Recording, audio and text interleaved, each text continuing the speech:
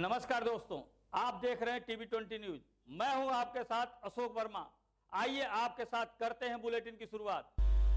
महाराष्ट्र के स्वर्गीय मीनाताई ठाकरे स्टेडियम में आयोजित पेंचक सिलाट राष्ट्रीय फेडरेशन कप 2020 में उत्तर प्रदेश पेंचक सिलाट टीम में खेलते हुए आजमगढ़ के खिलाड़ियों ने जोरदार जीत हासिल की है। स्वर्ण पदक विजेताओं में शुभांगी मिश्रा, पूजा यादव, अंजलिका यादव, अनुराग कुमार, आनंद सिंह तथा सूरज यादव रजत पदक विजेता में आकृति यादव व आर्यवीर सिंह रहे, तथा कांस्य पदक जीतने वालों में अर्पिता राय, अर्चित पांडे तथा सात्विक यादव ने पदक जीतकर प्रदेश व जनपद का मान सम्मान बढ़ाया है।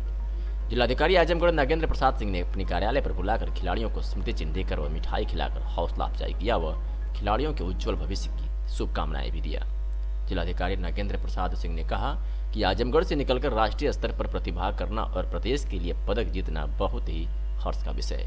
खिलाड़ियों व उनके प्रशिक्षकों को उज्जवल भविष्य के लिए शुभकामनाएँ। मार्शल आर्ट्स में बालिकाएँ भी बहुत अच्छा प्रदर्शन कर रही है, इस तरह की बातें कही हैं।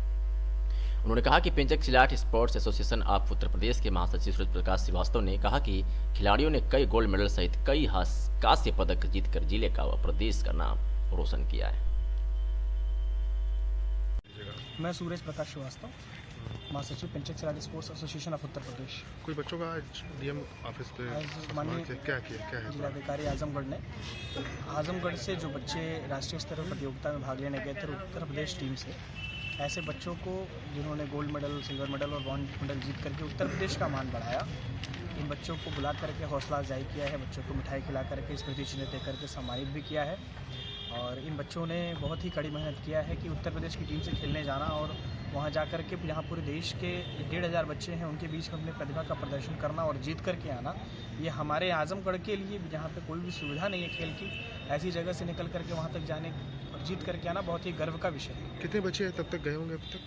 आजमगढ़ से कुल ग्यारह बच्चे गए हुए थे और छः गोल्ड मेडल दो सिल्वर मेडल और कांस्य पदक जीत करके बच्चे यहाँ जिनको अच्छा जिनको निराशा महसूस हो उनको क्या करना चाहेंगे आप? देखिए बच्चों को ये पता है स्पोर्ट्समैनशिप है।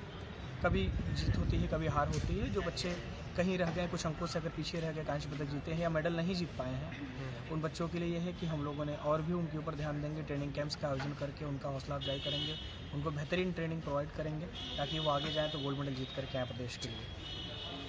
और इसके साथ ही कुछ ऐसे बच्चे हैं जो स्वर्ण पदक जीते हैं जिन्हें वर्ल्ड चैंपियनशिप के ट्रायल में भी भाग लेने जा रहे हैं। उनकी भी कड़ी ट्रेनिंग चल रही है मार्शल आर्ट्स का खेल, ये पेंचक सिलाट बहुत ही लोकप्रिय खेल है, जो ऑल इंडिया पुलिस गेम्स में शामिल हो चुका है।